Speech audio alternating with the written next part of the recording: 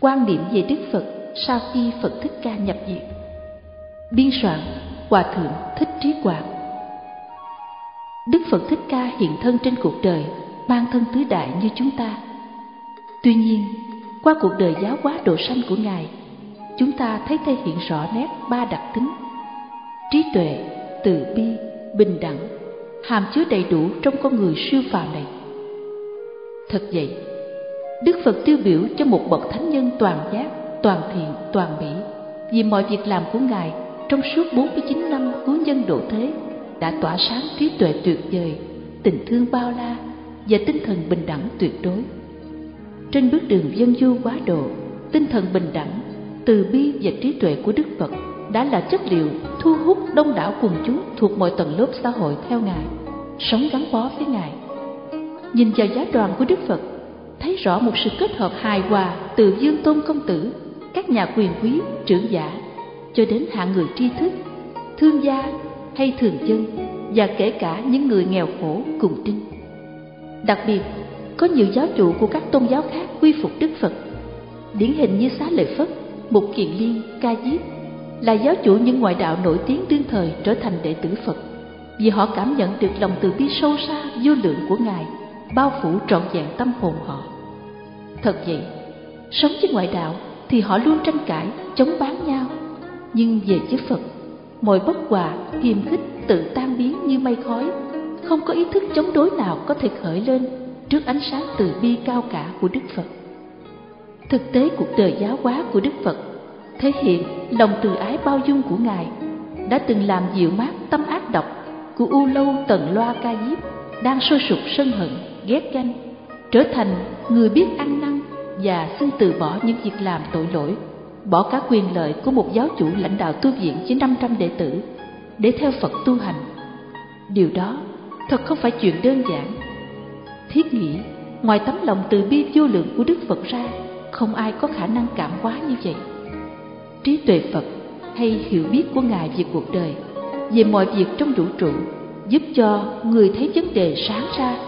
Trong kinh điển thường gọi là khai ngộ. Chưa gặp Phật, chấp đủ thứ, bị mọi định kiến ràng buộc, nhưng không giải quyết được gì. Về với Phật, trí tuệ Ngài chỉ đạo cho họ tháo gỡ mọi khúc mắc, thoát khỏi những sai lầm trói buộc một cách nhẹ nhàng. Nói khác, nương theo Phật tu, trí sáng ra nên họ tự vượt khó khăn dễ dàng, tự giải quyết được đúng đắn lợi ích. Chúng ta còn nhớ xá lợi phất hành ngộ Đức Phật, trí tuệ Ngài đã tác động vì thánh đệ tử này, giải tỏa được mọi thắc mắc khổ đau cho ông.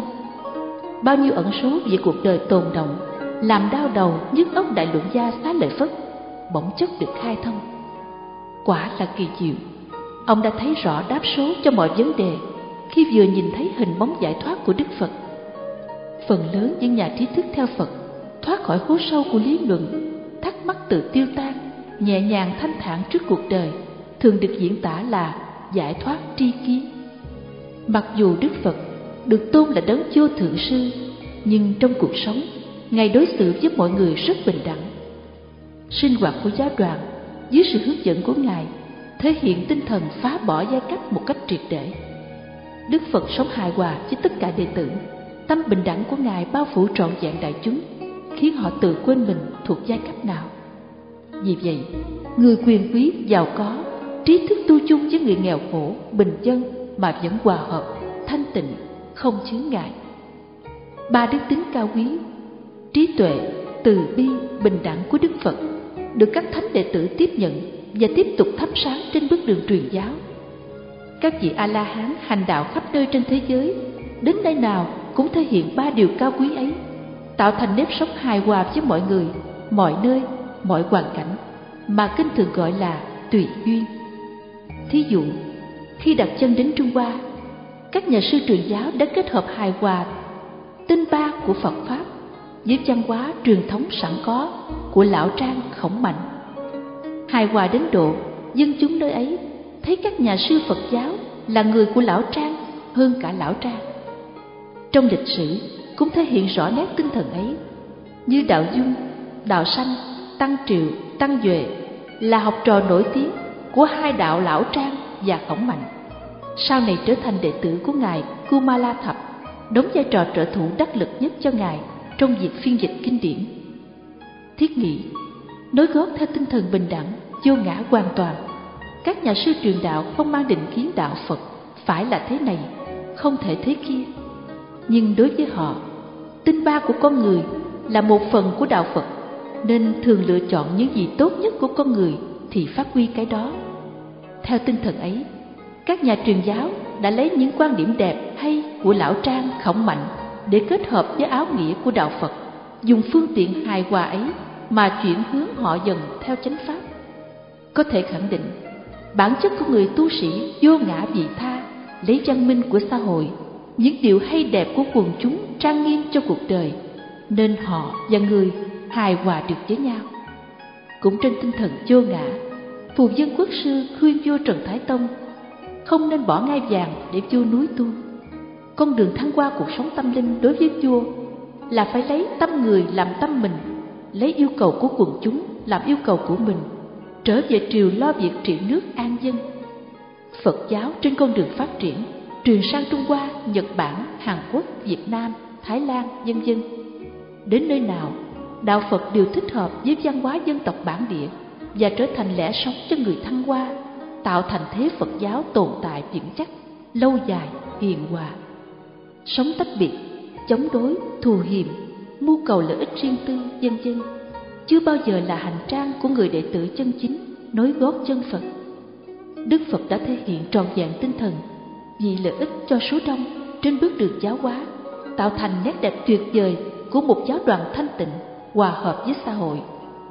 Tinh thần hài hòa của Đức Phật là chất liệu quý báu đưa Phật giáo phát triển khắp Nông Châu, tồn tại hơn 25 thế kỷ. Đặc biệt ngày nay, Phật giáo đang lần bước mở rộng ở các nước Tây phương. Và những vị thiền sư cũng theo tinh thần phục vụ vô ngã đã nhẹ nhàng ảnh hưởng cho người phát triển tâm linh, khai thông được những bức bách của xã hội văn minh. Tóm lại, hàng đệ tử Phật đời sau nối tiếp hạnh nguyện của Ngài, thể hiện được chân tinh thần trí tuệ, từ bi, bình đẳng, vô ngã dị tha, thi hành đạo ở nơi nào cũng được mọi người kính mến, quý trọng, thành tựu mọi việc lợi cho đời, tốt cho đạo. Theo dòng thời gian, Phật giáo nhẹ nhàng lặng lẽ đi vào lòng người ở khắp mọi nơi trên thế giới. Không đâu, không có hình bóng của những người nối chí Phật, được Kinh Quan Nghiêm diễn tả là Pháp thân Phật. Thiết nghĩ, lòng từ bi bao la, vì người, lo cho người được soi sáng bởi trí tuệ toàn giác theo Phật dạy, chắc chắn có giá trị muôn đời ở bất cứ nơi nào trên trái đất này. Cảm nhận sâu sắc những đức tính cao thượng tuyệt vời ấy của Đức Từ Phụ, chúng ta sung sướng hướng về Ngài, ca ngợi đảnh lễ. Phật thân thanh tịnh tợ lưu ly, Phật diện du như mãn nguyệt huy, Phật tại thế gian thường cứu khổ, Phật tâm vô xứ bất từ bi.